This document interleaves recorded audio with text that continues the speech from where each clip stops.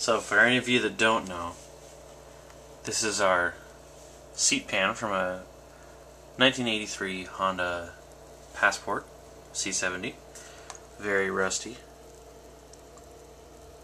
I just took the uh, seat cover off and underneath the foam it was very wet and rusted to hell. So over here we have our salvage metal.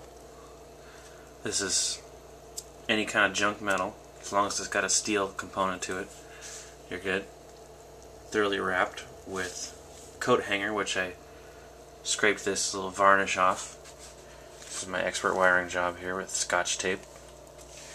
This uh, wall wart provides about 1.2 amps, 1200 milliamps at 9 volts.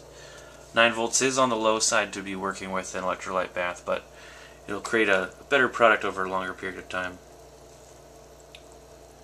You can see it's bubbling away pretty good right now.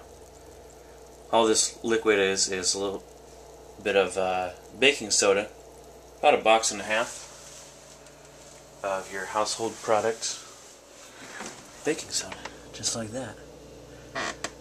One and a half of those size boxes in a 10 gallon tub, and you are on your way to having an electrolyte bath. Post the next video when this uh, baby's looking nice and rust free.